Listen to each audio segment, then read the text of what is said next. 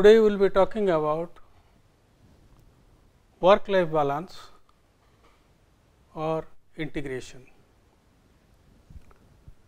And in this topic, we will be discussing about what is work life balance, then we will go to the causes and consequences of work life balance. Then finally, we will talk about the work life balance and integration.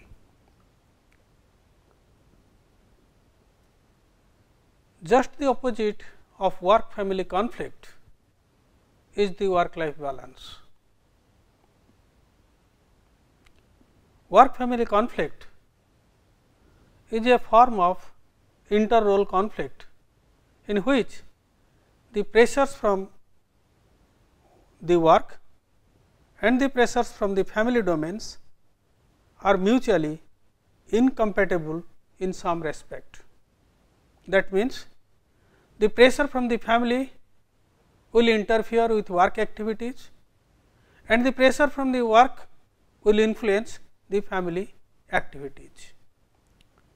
Traditionally, the unpaid family work or family concern was the women's domain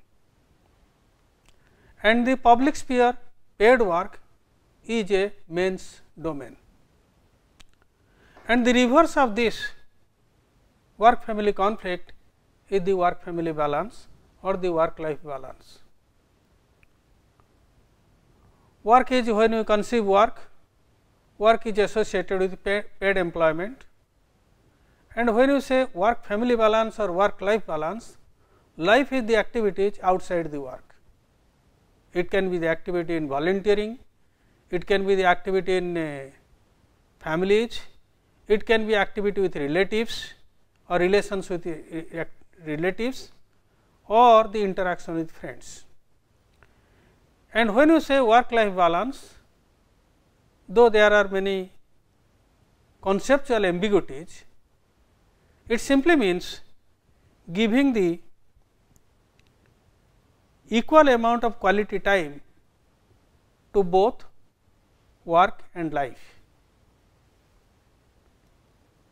or giving the amo amount of equal amount of quality time to both work and non work activities, because work is associated with organization and life is associated with family, friends, relatives, community work and so on. And if you do not give the equal amount of quality time to both, then there will be deterioration in personal or home life as well as in community life. And there are different models that explain the work life balance. The segmentation model speaks that work and life are two different domains. So, therefore, one will not interfere with the activities in the other domain and they are separate. The spillover model speaks that one can influence the other either in positive or negative ways.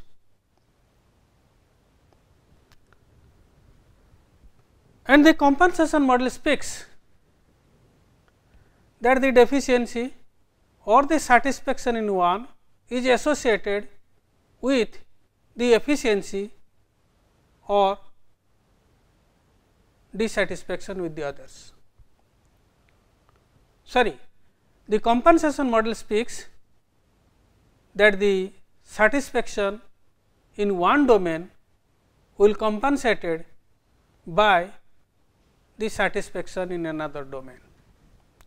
The instrumental model says that the activities in one sphere facilitates the success in other sphere and the conflict model says that if there is high demands from both the spheres work and life, it will lead to work overload and the individual will experience the stress. And beyond these five models that we have discussed, there is another theory called the border theory. That means, people daily cross borders and with the help of the technology.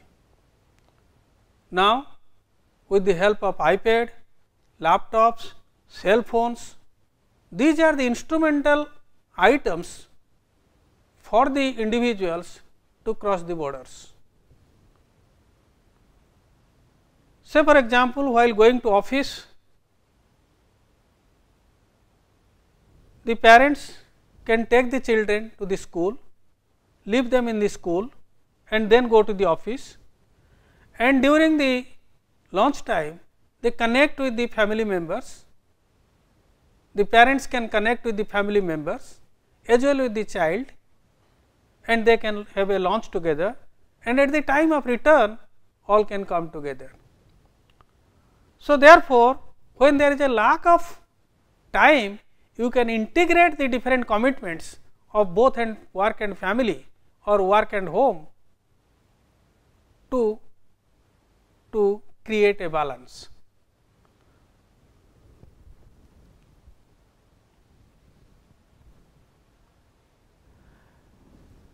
And if you look having said this, if you look to the why we are thinking of work life balance, why you are talking about, perhaps there is some imbalance is existing, why it is occurring. Some of the pointers are that we are working longer hours, even if in a 7 days work week we are working more than 48 hours 48 hours. This is true globally and excessive work leads to physical and mental health problems and also occasionally causes death. Second is that the more female employees are entering into higher education and subsequently into professional jobs than ever before. And if the family, if the female employees are entering into the jobs, potential jobs and the high profile jobs, then they are left with less time for the non work activities or for the family activities. And in a globalized world, dual career families are in rise. Both husbands and wives are in paid jobs. So, where is the time left for non work activities? And also there, there are single parent families. And the kids, if the single parent families, if the father or the mother is going to the office, who will look after the kids?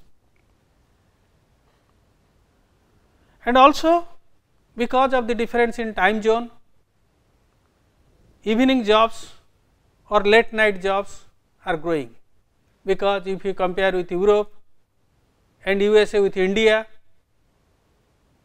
when the business is connected in different countries and in order to match the client requirements in foreign countries we have to adjust in accordance with their time as a result as a result of that night jobs and evening jobs are also increasing. And at the same time we do not have sufficient local resources and facilities to meet our daily demands and there is inadequacy there is there is inadequate service services and facilities are available which will not help to adjust with the daily demands of life.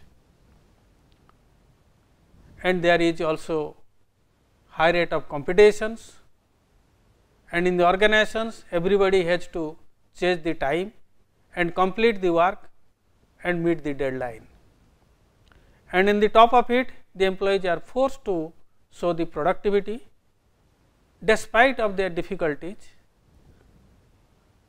and there is a demand not only for productivity, quality is the demand, not only the quantity, but also quality and on the top of it for the sustenance and survival of the organizations, constantly the organization has to innovate and have a human have the human resources which, which will give the organization a competitive edge, because this is the only resource which cannot be immediately copied by another organization and that will give the competitive and having the talents and the quality employees, they can give the quality products with the appropriate time deadline and they are also pressurized, because time is short, work is many. So, ultimately they are also pressurized. And there are when the individual is working in the organization, there are career goals. He will get the promotion, get the pay and the perks and at the same time you will find in the current scenario there are work alcoholics, those who give more time to work and people are nowadays more achievement oriented. As a result of which more time is spent on work and at the same time there is the world is not only looking for quality, but also perfection. And when there is a perfection continuously the person has to go on doing the work till it is completely all right on all sides. So, therefore, the individual concern is also driving the individual to put lot of energy on the work and to show his performance in the work and as well as to get the promotions and pay hike for his recognition in the community as well as in the family. So,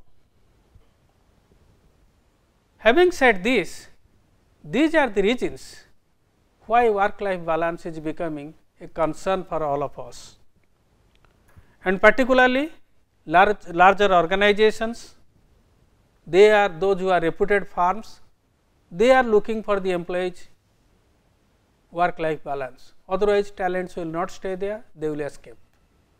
Similarly, when there are more female employees are entering into the job, if the organization is predominantly have the female employees, then they are also looking for work life balance.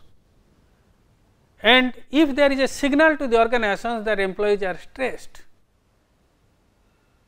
they are feeling tired. So, in that case they are also looking for work life balance.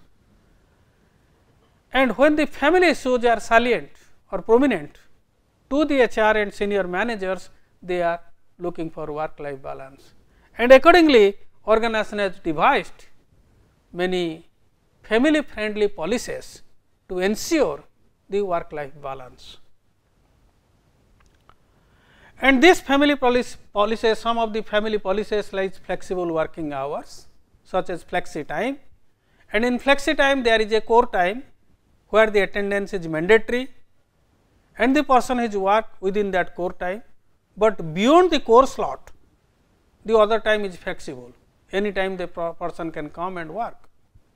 Similarly, alternate work arrangement is there where a part of the job will be done by one person and other part by the senior people or by the other family members. And organizations also have different leave policies even there is policies of earned leave, casual leave, so many leaves are there. Along with that, we have also a paid leave provision with, with going to different places that is called LTC or leave travel concessions. Organizations are also providing child care facilities, recreation facilities, gym facilities and others, so that the work life balance can be attained to certain extent. Also in the legal provisions of India, say for example, in the Factories Act 1948, the individual can work for 48 hours per week and maximum the individual can work 9 hours per day. And also the law is the, the act is such it restricts the women employees during 7 pm and 6 pm. They will not work during the slot of 7 pm to 6 am, 6 am that is uh, wrong. It is uh, it is 7 pm to 6 am and there are weekly holidays. Creches are prescribed for the prescribed for the, the company goes for creches if there are more than 30 women employees and different leaves are also prescribed like earned leave, casual leave, sick leave, compensatory leave, medical leave, maternity leave, maternity leave and benefits, paternity leave etc. So, all these things are given to the employees, so that the work and non work activities or work and life activities will be balanced. In IT and IT enabled industries, you will be finding like IBM, Tata Consultancy, Accenture, they have flexible working policies to attract and retain the talents. And it is also spelled out in employer branding. And if the organization has to get the potential, the organization will organization will send a message to the potential and actual employees that this is a good place to work with the organization. And therefore, different facilities, different perks, different leave facilities and the acts are also enacted in India, so that the work life balance can be achieved. And these are some of the nature of balance. Say, if the if I want to have the balance between work and family, the outcome is that if we equally emphasize on home and work or the life and the work, then in that case it will lead to job and work satisfaction. And if we look into balance and also life satisfaction, that is a subjective feeling, they have achieved the things that I what I want in my life and my conditions are excellent. And similarly, job satisfaction speaks about the things that to what extent the needs of the job related needs of the individuals are met. And if the person emphasizes equally on home and work, then it will lead to job satisfaction, work satisfaction and organizational commitment. That is the tendency on the part of the individual to stay in the organization, glorify the organization in front of others and adhere to the norms and values of the organizations that is what organizational commitment is. And if the home is central in the balance, if home is central to the persons, then automatically it will lead to mental health and well-being, because the person is spending more time with the kids as well as with the spouse and with the community members and doing many of the things what he internally wants to do. If work is central to the individuals, then personally he will suffer from stress and illness. Similarly, the work we do and if there is a spillover that means the family responsibilities are interfering with the organizational activities or the work or if the organizational activities or the work activities are interfering with the life affairs, then it will directly influence the performance of the individual at home as well as at work. And this is not only that, if we do our free time work, manage the family roles, voluntarily do the work for the community, then it will have an impact on others and within us we will also experience the inner joy by providing the service to others.